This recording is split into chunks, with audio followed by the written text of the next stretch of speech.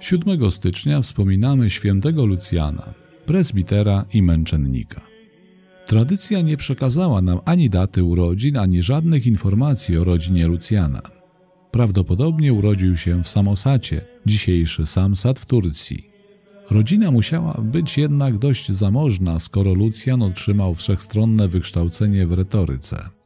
Po dość rychłej śmierci rodziców sprzedał ojcowiznę, a pieniądze rozdał ubogim. Ze szczególnym zaangażowaniem oddał się nauce języka hebrajskiego i studiom biblijnym. Jego sława zaczęła ściągać do niego uczniów. Wkrótce założył własną szkołę w Antiochii, współcześnie Antakia w Turcji.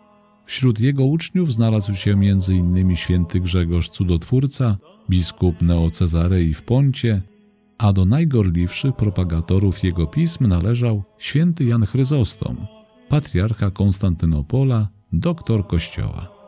W prowadzonych studiach biblijnych przyznawał pierwszeństwo dosłownej interpretacji Pisma Świętego.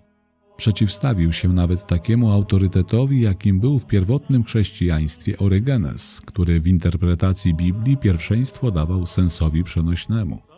Za Lucjanem poszli święci tej miary co Ambroży, Augustyn i Grzegorz I Wielki.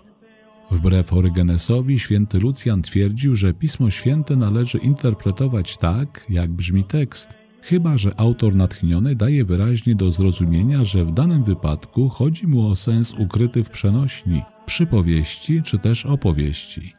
Tej zasady trzyma się po dzień dzisiejszy Kościół katolicki. Nie wiemy, co skłoniło Lucjana do zamknięcia szkoły w Antiochii i przeniesienia jej do Nikomedii, obecnie Izmit w Turcji. Być może stało się tak z powodu prześladowań kościoła, jakie rozpoczął cesarz rzymski Dioklecjan, a kontynuowali jego następcy Maksymilian Herkules, nie mniej okrutny Galeriusz i Licyniusz. W Antiochii prześladowania wybuchły ze szczególnym okrucieństwem.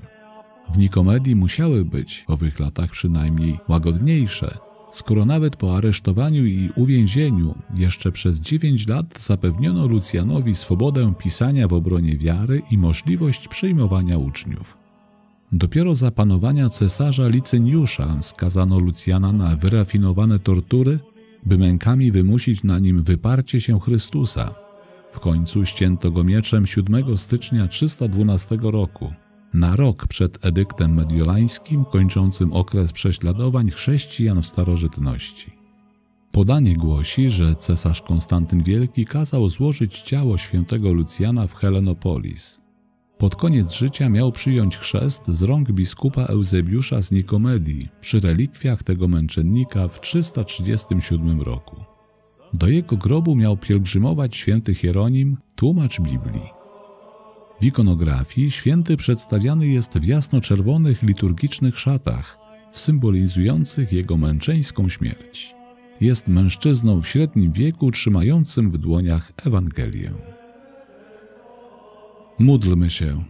Wszechmogący wieczny Boże, z Twoją pomocą święty Lucjan aż do śmierci walczył w obronie wiary.